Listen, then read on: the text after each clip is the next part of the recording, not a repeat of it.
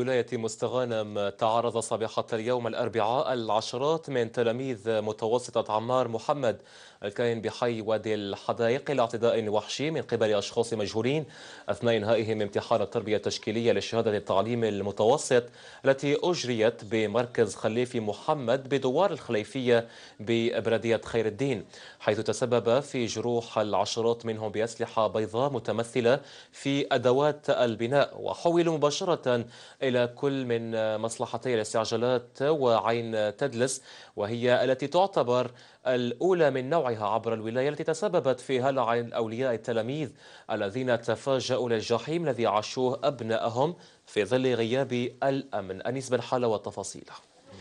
فكنا رايحين نفوتوا البيام. هي من وصلت فوتنا البيام خرجنا حارس. قال المديره قالت له خرجهم. خرجنا من الناس راد دبزة بيناتهم. بين واحد جاب بالا واحد مطرق خدمي. لحقني بالا إيش صرالي منه. واه واحد كبير. ما يقراوش ما يقراوش تما ميم مي ما يقراش تما عيطوا له في التليفون بيتحاموا فينا برا. حتى جاو لي جوندارم باه خرجونا. باه نروحوا ليرجونس ما نجمناش نروح. المديرة قالت لها لا خرجيهم هذاك عارفه الحاجة هي كي دايرة تما وقلت لهم خليهم يخرجوا. هيا خرجتنا برا إحنا ما خرجنا ولاو يلاخروا على الشيرة تاعنا. ولاو هكا يلاخوا فيهم وكاع ما بغيناش عليهم. ما بغيناش عليهم ثاني ولاو يصغوا فينا حنايا. ما بغيناش حنا تلاصقنا معاهم.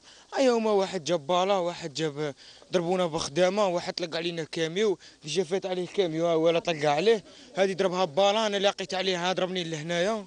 ضربني لهنا ببالا. زيد راني مضروب لهنا بخدمي. طلبوا مديرة الأكاديمي. ولا مدير الأكاديمي بولاية مستغانم يعني لما يرسل تلاميذ من حي الدبدبة كما نقولوا امتحان. تاعهم يديروا في منطقة غير محمية ومنطقة يعني فيها مدرسة في جبل بدون حماية. الإسعاف لما تتقدم تما يعني ما تعرفش الطريق. التلاميذ باللي عندهم هذا هذا المشكل اتصل بالأمن بلغ الأمن وكذلك السيدة رئيسة المركز اتصلت بالأمن باش تخبرهم بأن الحادث وقع آه، بعد الإجراء يعني خارج المؤسسة. وحنا على على مستوى المديرية لما بلغنا الخبر آه، كذلك سنحقق في القضية هذه ونشوفوا آه، ما هي تبعاتها وان شاء الله يعني نشوفوا الحل المناسب في الوقت المناسب.